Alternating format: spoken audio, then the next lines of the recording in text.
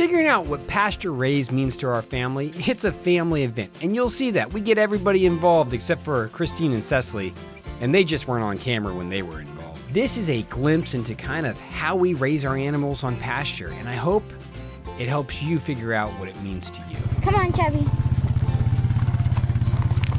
Welcome to the Simple Life. Today is gonna be insanely busy. On my way to deliver the pig shelter and the pig water, I decided to stop by our goat pasture, which you may recognize because merely a few months ago this was a pig pasture.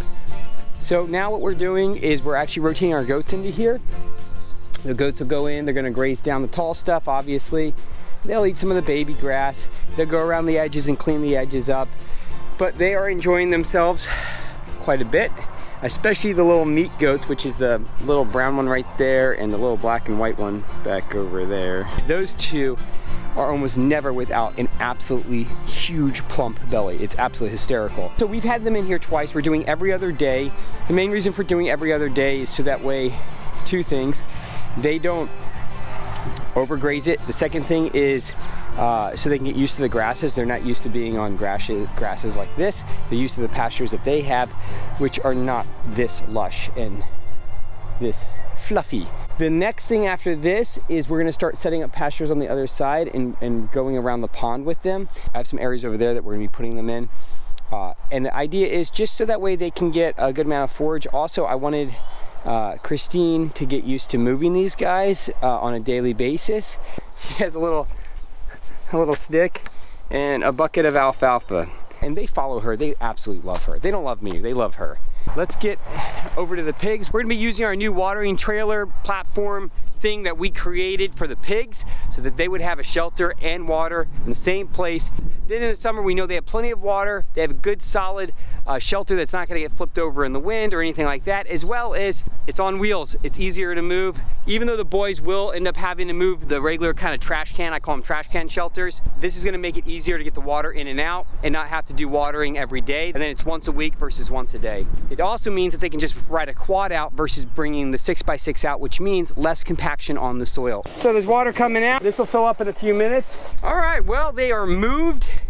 They're in their new area with their new water. I guarantee they're gonna love that. It also gives them a nice solid thing to itch on because it's it's solid. Each of those legs is meant for holding, I think it's up to 2,500 pounds.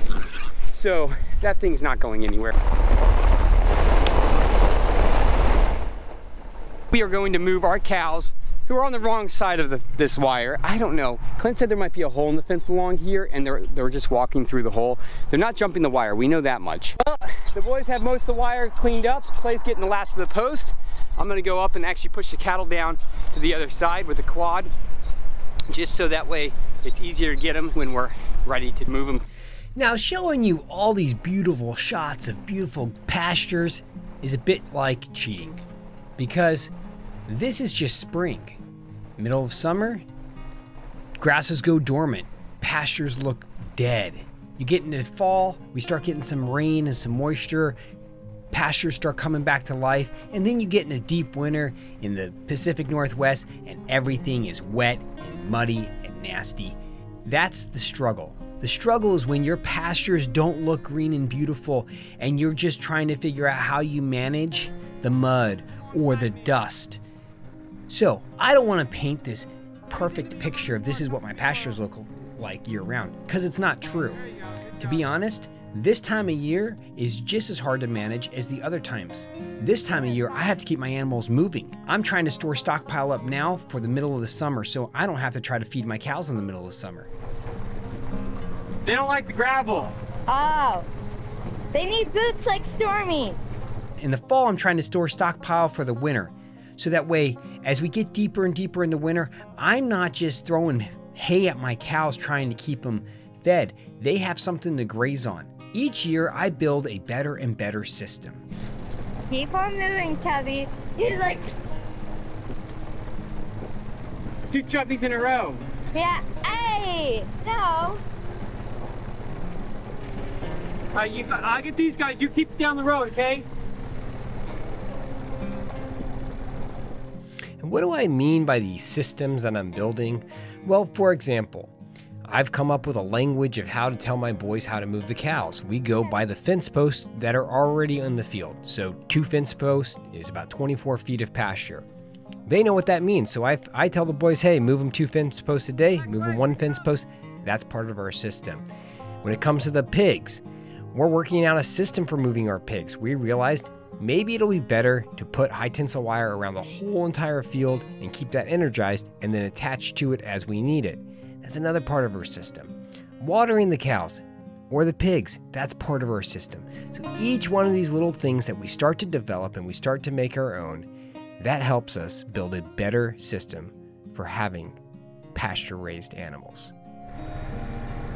Well, as soon as Clint was done letting the neighbor know they can come down. He started wrapping up the post, and so I'm gonna start uh, reeling in the wire as soon as he's done getting these posts undone. In the meantime, I'm gonna help him.